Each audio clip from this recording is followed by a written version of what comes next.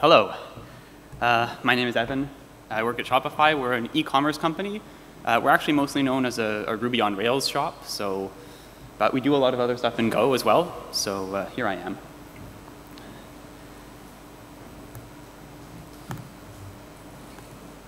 Uh, this whole talk has its roots with me getting fed up by yet another article online that uses pipelines and worker pools to talk about and tout Go's concurrency model.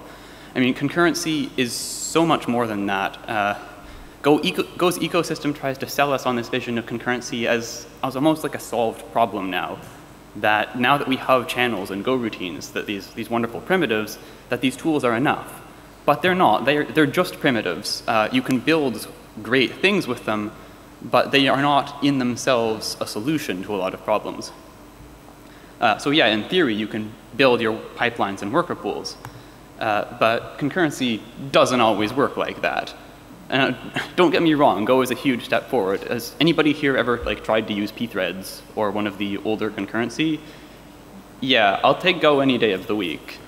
But uh, even with Go routines and channels, when your system is complex, uh, questions like this can still be hard, uh, and answers are not always obvious. So that yes. Go away. There we go. You can actually see that now. So yes, Go makes concurrency easier, uh, a lot easier. It makes it way more accessible to, to a lot more developers, which is great. Uh, but it's still hard. So uh, this talk is really quite simply structured. Uh, it's basically a case study of a library that we wrote at Shopify. Uh, it's open source. It uses a lot of concurrent tricks and it's written in Go, obviously. Uh, so I'm just going to give you a little bit of context, what the library is for, what it does, what we use it for, and then we're going to walk through it. We're going to pull it apart, look at some of the, the patterns we use, some of the trade-offs we made, uh, we learned a ton building this library. It was our first real big project in Go, uh, and so hopefully you'll learn some of that too. So let's start with a little bit of context. Uh, anybody recognize these, these people up on the screen? No, that's okay. Some of them are pretty obscure. Uh, on the left there, you have Franz Kafka, uh, an author known uh, primarily for the Metamorphosis and a few other books. In the middle, you have Jose Saramago, uh, who's a Portuguese author heavily influenced by Kafka. And on the right, you have Donald Knuth, uh, a computer scientist, probably needs no introduction, uh, The Art of Computer Programming, and many other seminal works. So you're probably wondering what these people have to do with anything. Uh, so let's start with Kafka. Kafka is also the name of a Java-based Apache project. It was started at LinkedIn a couple of years ago. Uh, it's for distributed publish subscribe messaging. It's almost already like the de facto standard for that, uh, that field. Uh, it's very popular. We use it at Shopify now. Uh, in Kafka, messages are grouped into topics, which are uh, semantic. So if you an e-commerce company like us, maybe you have a topic for your checkouts. Uh, topics are then subdivided into partitions, which are not semantic. They're just for parallelism, so they're like database shards. And partitions are then individually led by brokers uh, and replicated onto other brokers, and brokers are just your nodes in the cluster. Now, the interesting thing about Kafka is that clients are very thick. It's not just like a network protocol you have to implement. There's a great deal of logic in the client that deals with uh, how to fail over between brokers and all sorts of other interesting stuff. So Shopify, we wanted to use Kafka. Uh, but we didn't want to use the JVM. We're not a, not a Java shop. Uh, we are not keen on putting the JVM everywhere. So we wrote Sarama. And this brings us to our second author. Uh, Saramago uh, is a terrible, terrible pun. I apologize. The name stuck. I couldn't do anything about it after that point. Uh, uh, so Sarama is a, a, client library for Kafka implemented in Go. It implements the wire protocol and all of the complicated logic on top. The original version, way back in 2013 uh, on Go 1.0, was a uh, proof of concept. It was very simple. We ignored a lot of the complexity. We made it as simple as possible to work, uh, to make it actually work, because the complexity was to be honest, quite scary at the time. And uh, premature optimization is the root of all evil, right? And that brings us to our third author, because that's his, that's Knuth's line. Uh, premature optimization is the root of all evil, but we should not ignore that critical 3% of, uh, of optimization opportunities, and it was that critical 3% that bit us, because it turns out it, in Kafka, that complexity is there for a reason.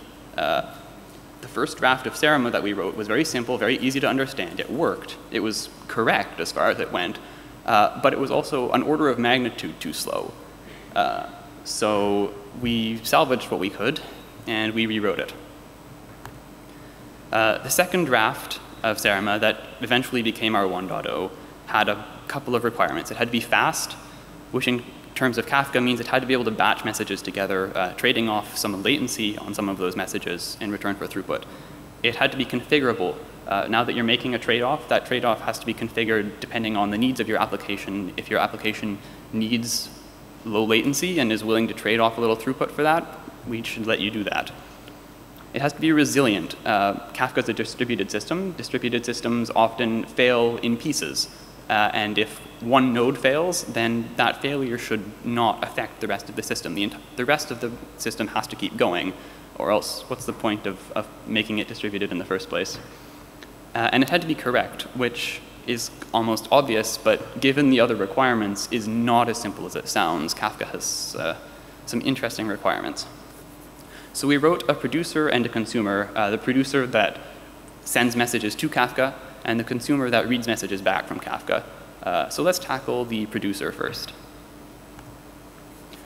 This is the diagram of, of what the producer looks like, an overview. It's a fairly scary diagram, uh, despite the smiley face at the top. Uh, that's the user, by the way. That's the user sending messages into the producer to be sent to Kafka. Uh, in this diagram, every arrow is a channel, and every box, every labeled box there is a Go routine. So that's more or less the complete graph of all of our communicating Go routines talking to each other. Uh, we're going to work our way more or less from top to bottom, following the flow of, of a message as it is sent from the user and then uh, down and out to the actual Kafka cluster. Uh, quick disclaimer, the code that I'm going to show is looks like Go. It was copied from, from the actual library, but it's been simplified for the slides so much that it's basically pseudocode at this point. Uh, there's a lot of cases I'm explicitly ignoring. Don't read too much into it. Uh, so let's start at the beginning. Uh, this is the top fragment of the producer. This is where the user sends their message in and it goes through the initial processing. Uh, and this top layer primarily tackles that third requirement I mentioned of resiliency, uh, which basically means keeping errors isolated. Uh, when an error occurs, because errors are going to occur, everything else, all of the other topics, all of the other partitions, all of the other brokers, they all have to keep working because uh, other things are relying on them.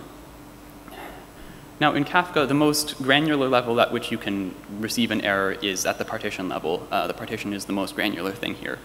So the simplest way in Go to isolate something is to put it in its own Go routine. That's a really basic trick.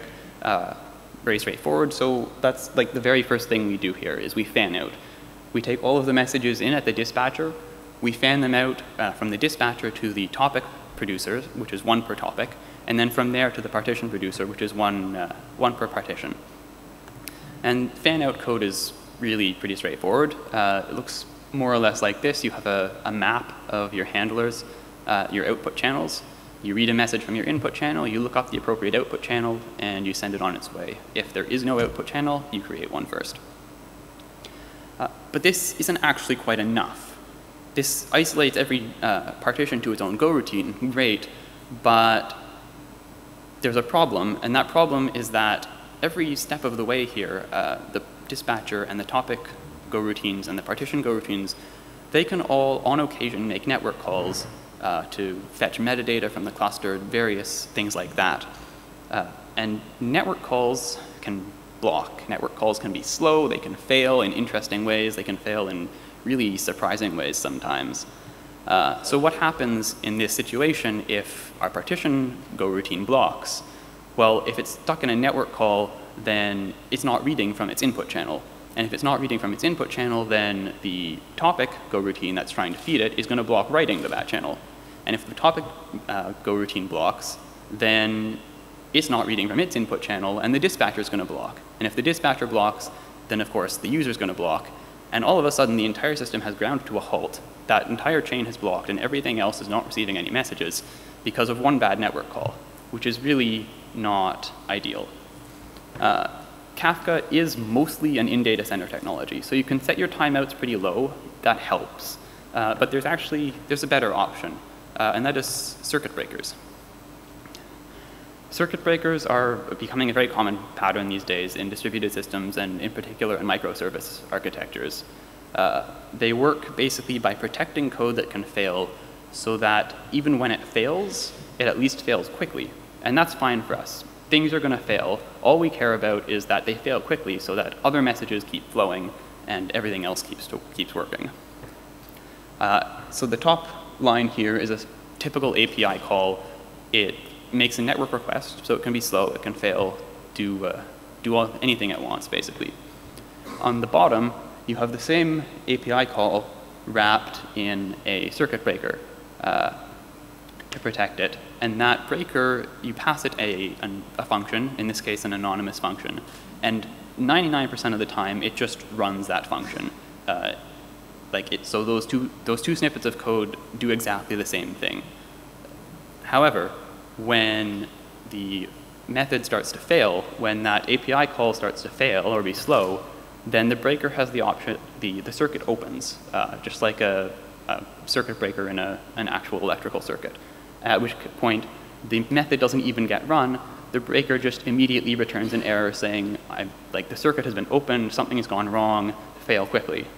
And that's all we need. The circuit fails quickly, uh, the message is rejected immediately, and all the other messages keep flowing.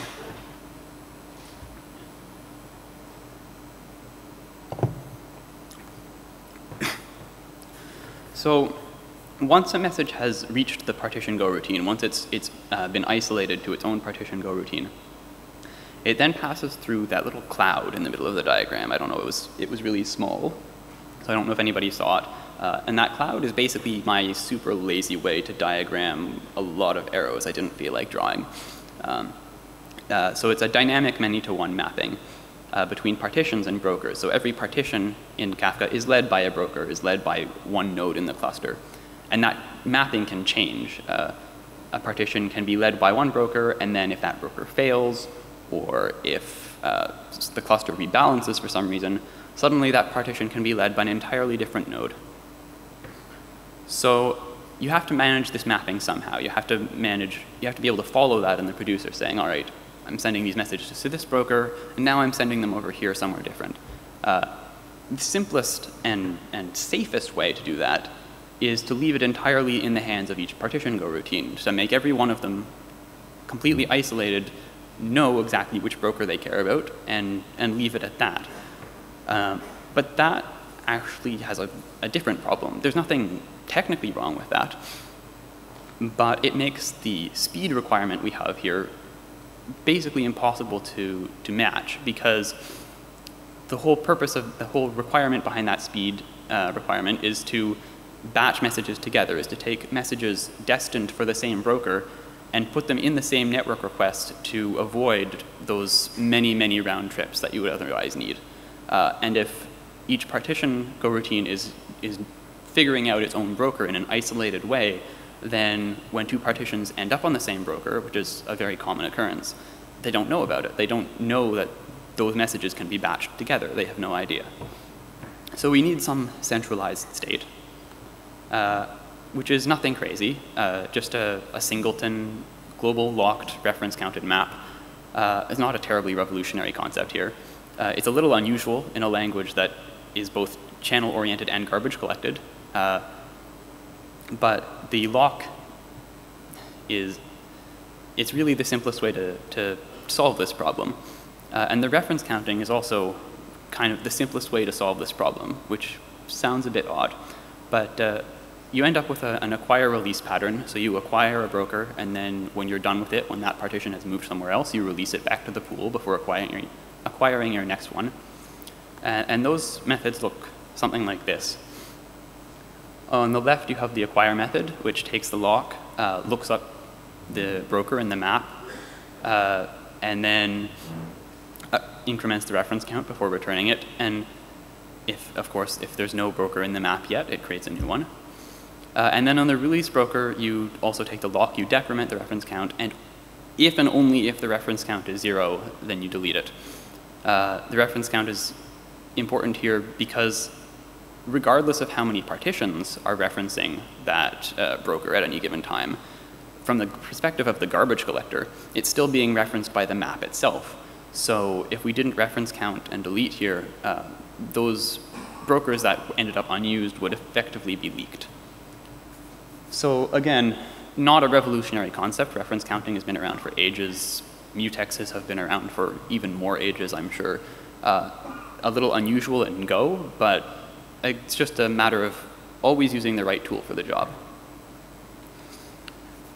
So once we, uh, once the message has reached the broker or the, the, uh, the third component in our, our little diagram here, is the final step in the successful path for a message. A successfully produced message ends here.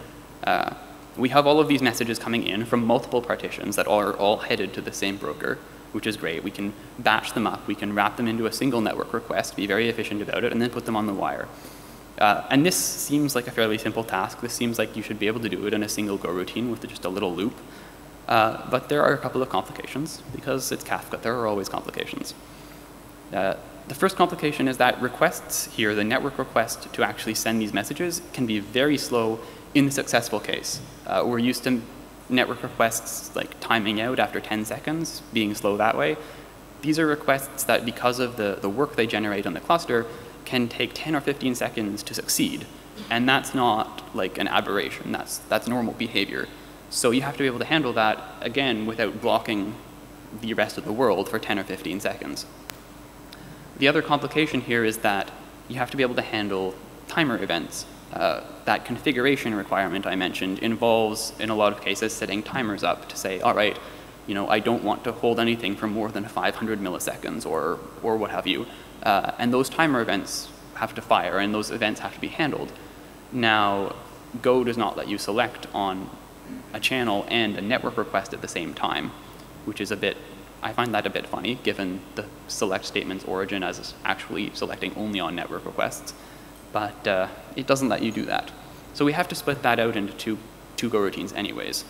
Uh, the aggregator, which is, uh, does most of the real work, to be honest. And then the broker producer, which is just responsible for putting things on the wire and handling the responses. The aggregator looks something like this. Uh, it's a for loop wrapping a big select statement uh, it acts like a dynamic buffer or a flow controller. Uh, it builds the requests, so for every input message it gets, it puts it into the request.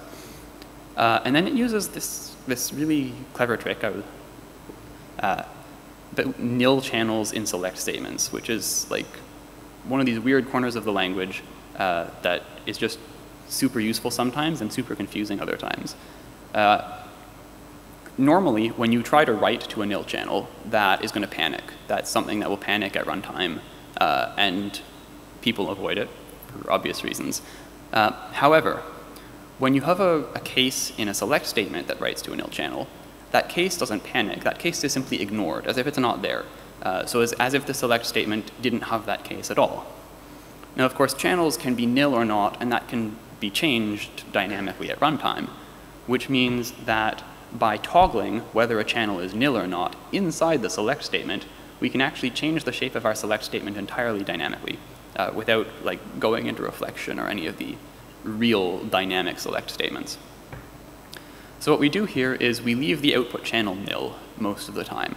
Uh, so that last case, uh, that where we feed the request into the output channel to be put on the wire, doesn't trigger 99% of the time. However, when the request is full, when we've gotten enough messages, or when the timer fires, uh, and we're, we're going to put it on the wire anyways to avoid undue latency, then we set that uh, output channel to a real value. So the next time through the loop, that output channel can be selected. Uh, maybe it's not that next time, maybe it's the like the subsequent time, but suddenly that's available for the runtime to send on.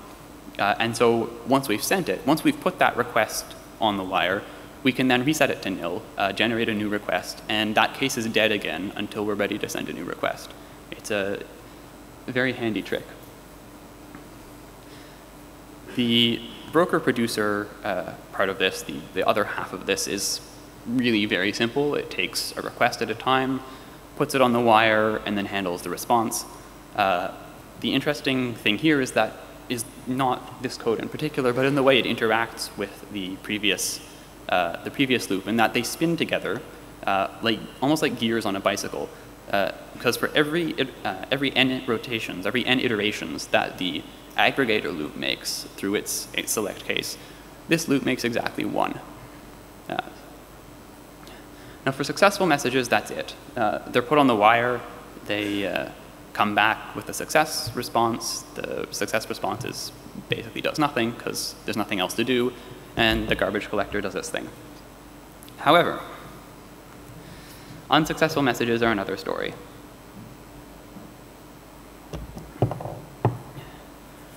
Unsuccessful messages uh, have to be retried, of course. Uh, we can't just give up on the very first time they fail. And that's the final component of our producer is the messages that are retried, how do we retry them? Uh, but again, it's not as simple as it sounds because Kafka's kind of weird and kind of crazy. Um, there are a couple of problems with just sending the same message again, which is the obvious solution. Uh, the first is that you can have split responses. So when you send a request and you get your response, that response can say, well, okay, well, these messages succeeded, these messages failed, uh, these messages failed because they're not even on this broker anymore. They should have been sent over here. And these messages, like at the end, these ones also succeeded. So you have to be able to parse that out and say, okay, like the successful ones we can ignore. The failed ones we have to retry. The ones that have been moved have to end up on some other broker in some other Go routine in our system. Uh, and that, they have to end up there, they have to end up on that other Go routine in the right order with all of the other messages that are still flowing down through the top part of our producer, which is uh, another interesting problem. So we looked at, at two kind of broad options here. Uh, you can see both of them on the left and the right here.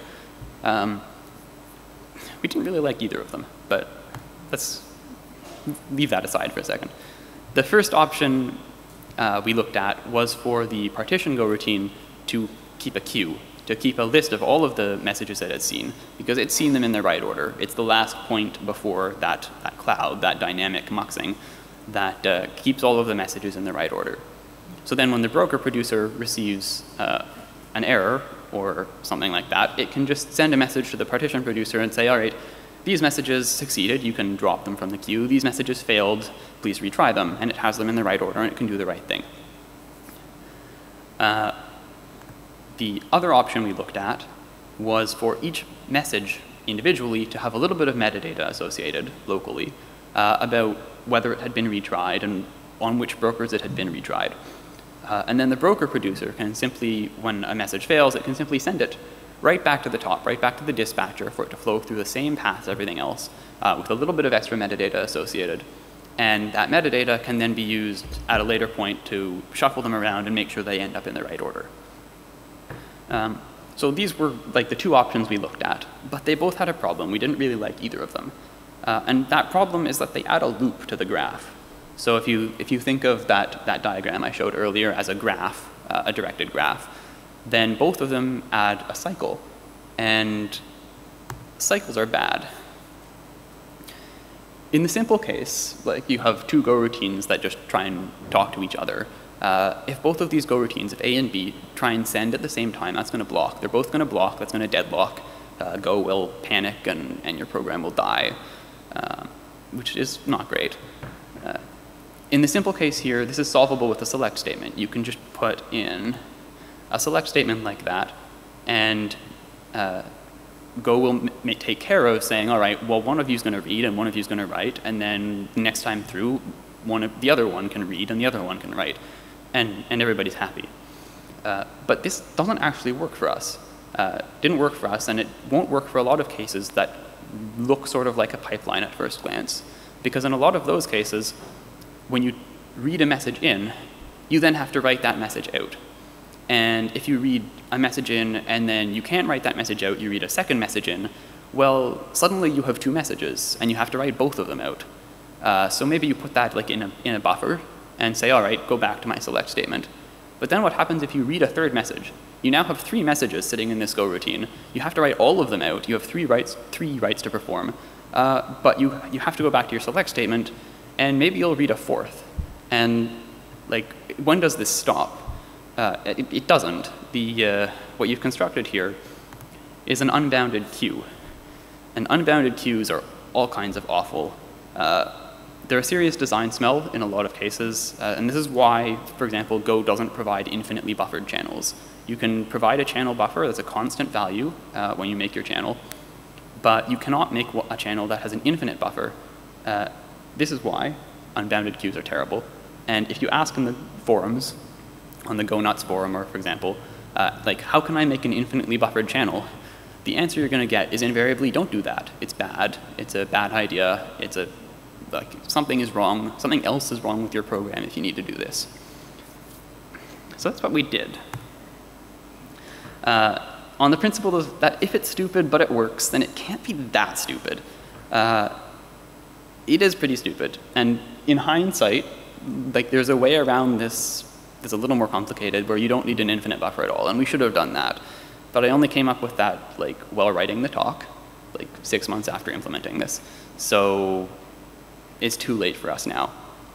Uh, we, did, we went with option two. We went with a little bit of metadata and then just flowing through the same path. Uh, and we added a retry or go routine at the bottom. And that retry or go routine is basically just a stupid implementation of an infinite channel. Uh, it loops over the messages, uh, stores them in a buffer, uh, stores them in a slice, and then writes them out when it gets the chance. Uh, there are practical considerations to do with how Go scheduler works and, and how Kafka works that means that this buffer isn't really infinite. There's a fairly weird limit you can work out on exactly how big it could get, which is not too bad. Uh, but this is still, this was a mistake. This was, if we'd, if we'd known what we were doing then, or if we'd known, if we'd known what we know now then, we wouldn't have done this. We would have uh, worked out a way to avoid the infinite queue. So this is the completed producer. Hopefully most of it makes sense now. We've, we've gone through all of the little pieces. Uh, we can pause briefly now. We, I'll go on to the consumer, the other half of the puzzle uh, shortly, but I'll pause briefly now. If there are any questions specific to the producer, uh, any of the code I've just shown, now is the time.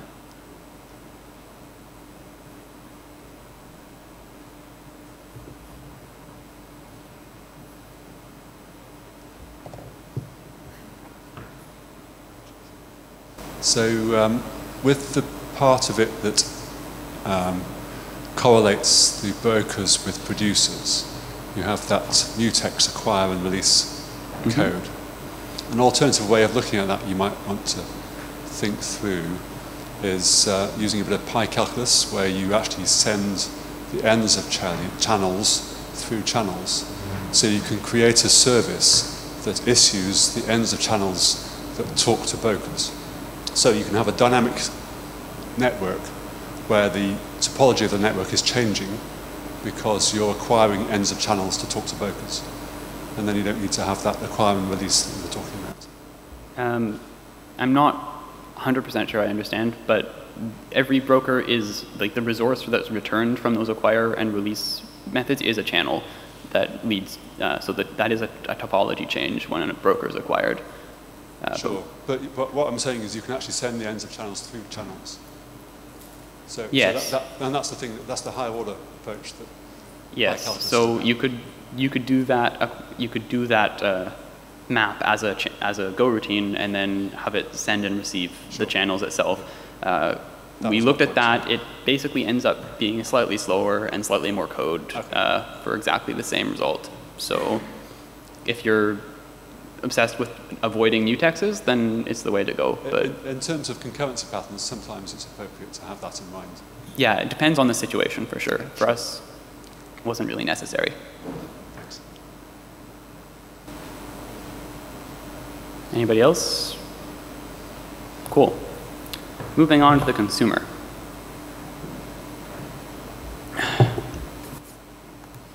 The consumer uh, came with its own set of challenges. Uh, it looks like this. This is hopefully slightly less scary now. Uh, we wrote it second. We wrote it after we, the producer was done and in production. Uh, so we were able to, to apply a lot of what we learned doing the producer uh, to the consumer right off the bat, which saved us a lot of time and a lot of headache. Uh, it doesn't have a top to bottom, like the producer was nice and flowed top to bottom. The consumer doesn't really do that. It flows, it's almost bottom to top or almost kind of inside out, uh, which basically just means that I'm going to jump around a bit. So it's a little, I apologize, it'll be a little probably harder to follow. Uh, but first, a more general principle that we learned from the producer that uh, saved us a lot of time here. Uh, this, this, thing is how Go routines are, are structured, basically. Uh, like, there's a couple of obvious ways to write your Go routines, as an anonymous function or as a named function. Uh, but there's also, and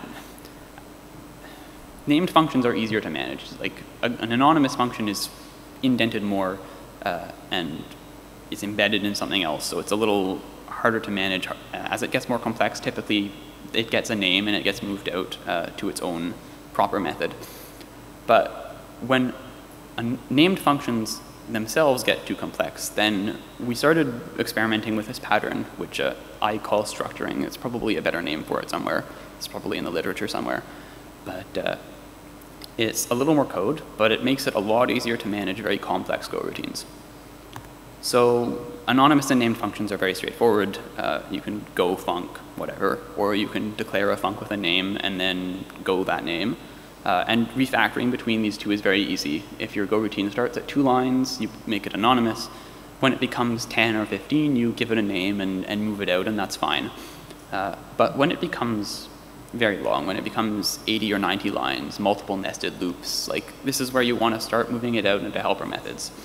Uh, but helper methods, as we found doing the producer, can be tricky to get right because often, you know, the Go routine has five or six state variables inside of it. And you have to pass all of those to your helper method. And then you have to take four or five return values of which state has been mutated, and you end up with a, a function signature for this helper method that is exceedingly long and really quite annoying to work with. So the pattern that we ended up with uh, looks kind of like this. For every Go routine that we have that's of any significant complexity, we create a struct, uh, and that struct contains the parameters and any state variables that are associated with that Go routine. Uh, we give that struct a run method, which is just the actual contents of the Go routine. But now it doesn't need parameters and it doesn't need a return, uh, well, Go routines can't have return values. And then we give it a constructor that takes the parameters that uh, the Go routine would have taken originally, constructs the appropriate structure, and then runs the, the run method. And what this lets us do is it lets you um, write your helper methods as methods on this structure. You don't have to pass a bajillion parameters to them anymore. You don't have to worry about returning a bajillion parameters if you want to mutate some state. Uh, it just works and it becomes a lot easier to manage. So we eventually refactored our producer to use this pattern everywhere, uh, which has helped a lot with readability. And we started the consumer right off the bat. We knew, okay, these, these Go routines that we're writing here, they're going to get big. So give them a struct and a constructor right off the top. And uh, it saved us a lot of time and a lot of headache managing a lot of that code. So now on to the first uh, kind of concrete piece of the consumer, uh, this is another solution to a problem that we've already seen, uh, the uh, partition movement problem again in the producer that we saw where a partition can be led by one, one broker and if that broker goes away it will move somewhere else or if, if the cluster rebalances for some reason it will move somewhere else. Um, so in the consumer's case, like the, the, this starts fairly simple. Every broker just keeps a list of, all right, these are the partitions that I care about and it can add or remove to that list dynamically as partitions move around. Uh, but again, there's always a complication. Uh, and the complication here is that this again, can require network requests to ask the cluster for metadata to say, all right, like I don't, I don't have this, this partition anymore. It's no longer my problem, but I need to know where to put it. Uh, and that can, again, those network requests can be slow, they can block, they can fail in surprising and unexpected ways. Uh, so again, it becomes a question of isolation. Uh, we have to keep those network requests isolated, not let them like uh, break down everything else in the system. Uh, so we create a go routine per partition again. We create a dispatcher here, and the dispatcher's job is simply to say, all right, this partition that I'm dispatching is now in limbo. It's not owned by the place it used to be owned by, but I have to figure out where it's owned by next, uh, and then make that network, network request. I can block, because there's, there's nothing else depending on me, so I can take my time, I can retry it, I can block, I can handle errors. Um, and when I figured it out, when I know where that, that partition is heading for, I can send it on. Uh, and handling that interaction then between the brokers, which are just those white boxes at the bottom because there's, we'll look at what's actually inside those boxes in a moment. Uh, and then inter that interaction between the broker and the dispatcher, you've basically ended up with this, this ownership token. Uh, so the broker has the token for a given partition, and then when the broker's done with it, it passes it up to a dispatcher, and then the dispatcher has the token. Uh, and then when the dispatcher finds out where it should go, it sends that token back to the appropriate broker. So whoever has that, that uh, magical token, all of that's the Go routine that owns the, uh, the state for that uh, particular, that particular partition. And in that way, we don't even need a mutex around that state because only one Go routine can access it at a time. Uh, and that Go routine is whichever Go routine has the token. So the dispatcher code looks basically like this. Uh, it has a trigger channel for receiving its ownership token on. When it receives the token, it finds the new, the new broker leader. Uh, and if, the broker, if it finds one successfully, then it simply sends its ownership token on and, and it's done. However, if there's an error, then it backs off. It, it doesn't want to flood, flood the cluster with uh, useless requests, so it will sleep for a while. And then it will simply send itself the ownership token, which is a really kind of clever and simple way of continuing this loop. Uh, the channel that we're listening on has a buffer of one for this purpose, so it simply sends itself the ownership token and runs through the loop again, and we'll retry that as many times as it needs uh, in order to find a successful new leader and then send its ownership token there.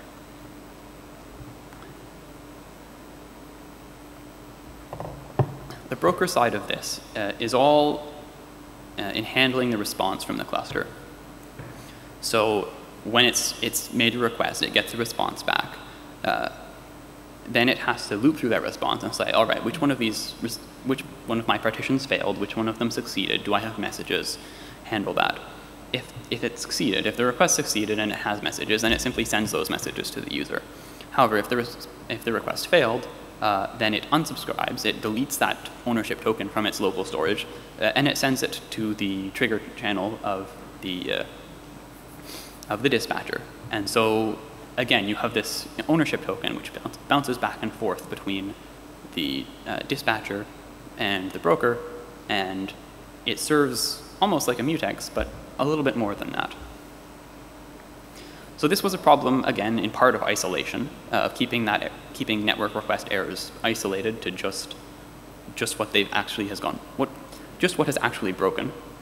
Uh, and continuing briefly with that theme, the inside of that box uh, that handles the, the broker side, it's almost exactly like in the producer. There's two Go routines. One of them is responsible for most of the logic. The other one is responsible for actually doing the I.O. So I'm not going to get too much into that, just a few minor differences, uh, nothing really worth exploring in depth. Now, last but not least, uh, we get to turn a classic problem on its head. So uh, we're, as programmers, we're probably pretty used to, to having to deal with user input and say, all right, you know, I've asked for a number, but the user has given me a frog, or the complete text of the Gettysburg Address, or you know, a pizza. And validating user input is a problem that we're, we're pretty used to at this point. Uh, we're not so used to is what surprised us here is being, having to validate user output, or in particular having to deal with user with the user not even being there to receive their output. Uh, so the consumer sends its messages to the user on a channel. It's the, the nice asynchronous way to provide them with that data. But of course, writing to a channel can block. And what pr problem we ran into a couple of times was we would write this message, like, hey, we have a message for you, user, here's your message, write it to the channel, uh, and the user wouldn't be there. The user would be hung in some other loop somewhere, or they'd be stuck in a network request of their own, or maybe that Go routine had completely, had panicked completely and, and gone away. Like, and again, this was a case where we would write to this channel and we would assume it would work. And so we would write to this channel, we would block, uh, and then you know the Go routine that was trying to talk to talk to that would also block and up the chain, and suddenly the entire system had ground to a halt. Uh, all of our other users, all of the other consumers, had become stuck on some internal transfer somewhere, and that one single Go routine, that like that, that user, had crashed our system basically uh, because they didn't read from a channel. So isolation again, we have to keep that problem isolated, a recurring theme here. Uh, again, first step is to put it in its own Go routine. So we spun up a response feeder Go routine. Uh, that is simply it takes a batch of messages and writes them out to the user on that user's channel. Uh, which is again, on its own, not enough because simply writing to the response feeder will now block and the entire thing will propagate still. So we stuck a, a neat little trick into the response feeder. Uh, it looks like this. In the simple case here, it, it takes a batch of messages in and it just loops through them and writes them all out and then uh, sends an ACK back to the broker to say, I'm done writing these messages. And that's just a, a wait group. So the broker has a wait group uh, that it waits on and it gets an acknowledgement for every partition in its, uh, in its request. However, the interesting case is the second case in this select, which is what happens when there's a timeout. What happens when we've tried to write this message to the user uh, and we found out that for whatever reason, maybe the user's just being slow, maybe they've gone away entirely, I don't know, that we can't. We can't write that message out. In that case, we forcefully unsubscribe ourselves from that broker. We, we claim back the ownership token. So now the ownership token is not on the broker's Go routine anymore. That ownership token is now in our Go routine. Uh, we tell the broker we're done, even though we're not. Uh, and then we can just feed those remaining messages out at our ledger uh, because the broker doesn't own this partition anymore, so it's not going to do anything. We've told the broker we're done, so it's just going to keep feeding the other partitions that are presumably still working. Uh, and so nothing else depends on us. So we can loop through the, those remaining messages. We can write them out. If the user's gone, who cares? Go routines are cheap. This will sit here until the program ends, uh, and it won't really cost us anything at all. Uh, and then when we're done, assuming that the user, you know, is just stuck in a network request somewhere, uh, they time out eventually and they come back and start reading messages. Then we have that broker still, we have that reference, so we can just uh, send it our, our uh, ownership token again and carry on uh, as if nothing ever happened. So the broker side code for this, like this is the, the clever bit, the broker side code is even simpler.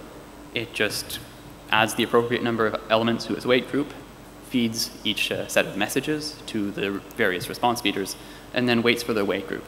And when that wait call returns, the broker, it doesn't actually know if all of the messages have been fed out, but it does know that every subscription has either fed its messages uh, successfully and returned and is ready for more, or it's unsubscribed itself. So the next time through the broker's loop, it doesn't even have to worry about that partition anymore. So that's basically it for the consumer. Uh, you've got a response feeder and a dispatcher that are, there's one of those per partition.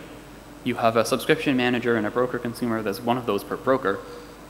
And uh, they communicate back and forth uh, fairly, fairly straightforward, I hope.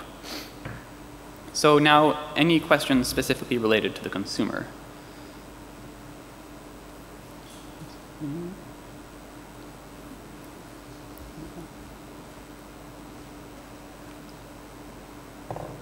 Hi, I just wanted to, to, say you were talking about how to name the pattern of, of having um, a struct with a run method attached, and it, it, it, reminds me of an actor Yeah, um, I'm not super familiar with, with, I think it's Scala and other actor-based uh, languages, but that's certainly sounds plausible to me. Very interesting. Uh, you mentioned that Go routines are cheap. They're cheap to create, but they're also roots for a whole lot of your heap, and so you don't want to leave them lying around after you've Yeah. gotten them stuck.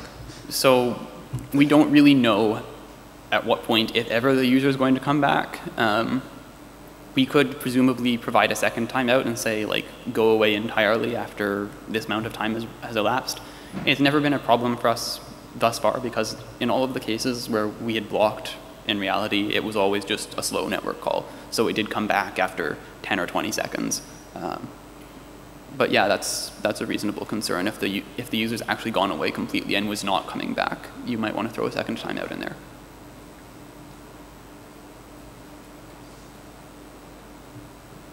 Cool. So we learned a bunch of lessons uh, doing this this project. Uh, channels are primitives, and they're for communication. They're they're your communication primitive. They're they communicate between your Go routines. But what we found out, and what you've just seen, is that we ended up writing a ton of Go routines and a ton of extra channels just to manage communication between like the Go routines doing quote unquote real work. Uh, like we had Go routines with circuit breakers and timeouts and, and all of these extra patterns just to manage the communication that channels on their own are not complex enough to handle. Uh, which is fine, they're primitives, but be aware of that. And on that topic of Go routines, structure them uh, or maybe make them into actors. Uh, it's a, we found it a very handy pattern uh, for managing that complexity uh, and managing that without 100 uh, parameters and, and return values in every, in every helper.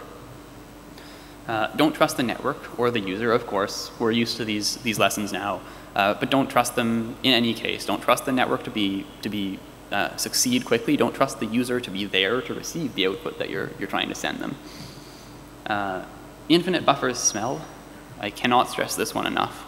Uh, it, it's bitten us once. Like, if you find yourself writing an infinite buffer or in the, in the process of designing something that seems like it ought to benefit from an infinite buffer, take a step back, reevaluate.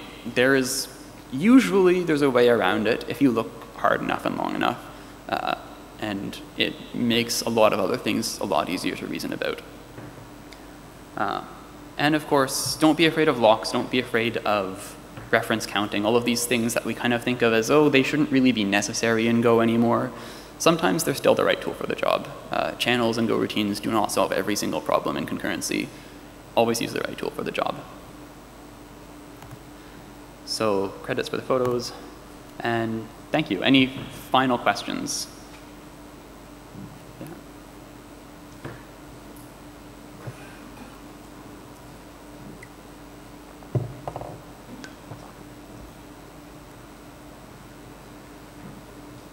So just picking up on the comment about actors, uh, there is quite a strong correlation between this style of writing Go routines with state um, that behave like actors. Um, there's, there's a very big difference, however, which is the actor model. Every actor has a single infinite smelly queue of, of data that's being fed into it. And obviously with Go, you have a lot more control of how the channels are configured. So um, it's actually a more sophisticated model using Go, uh, I think, than, than actors. Interesting. Um, what languages would, would provide that model with an infinite queue by default? Uh, well, I've worked with Akka, which is uh, Java and Scala. Um, it, the Akka model is like the Scala actors, which are now deprecated. And um, the, the Akka actors are essentially a, a way of dressing up callbacks. Your actor sits at the end of, a, of an infinite queue, and you write the code that, that pulls things off the queue and processes each item, which might involve putting messages into queues of other actors. Interesting. And, and that's all you've got. You've got the one input channel. You can't change that input channel. It's just an infinite input queue. That's, uh, I find that somewhat surprising, but uh, I'll, I'll have to look at that more. That's, that's really interesting.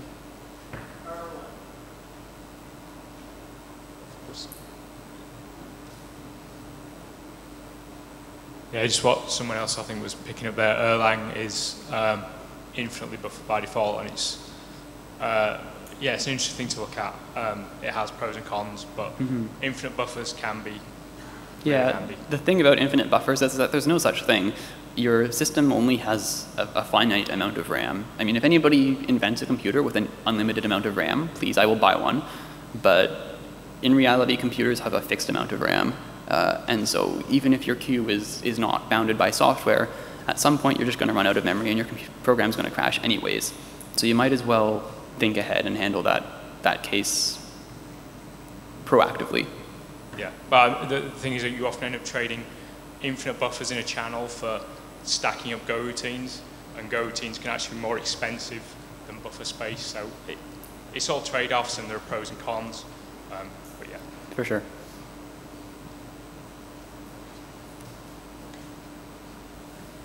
So with, with that in mind, how are you, with that in mind, how are you um, looking to solve that problem?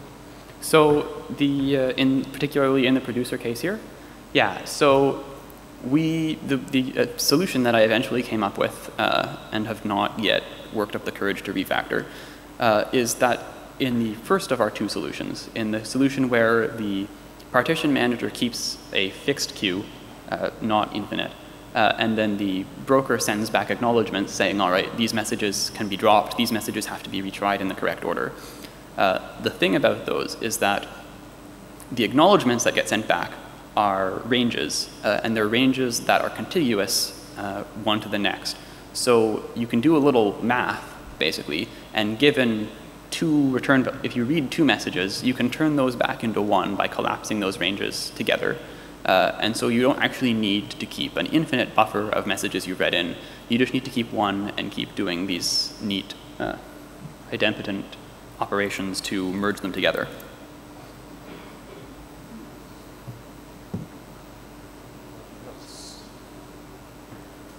More questions? Anybody else? No.